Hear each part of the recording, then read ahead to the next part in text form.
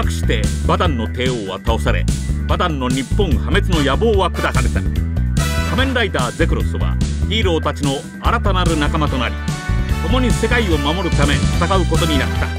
だが平和はすぐに破られるだろう。次の悪の組織が世界を狙っているのだ。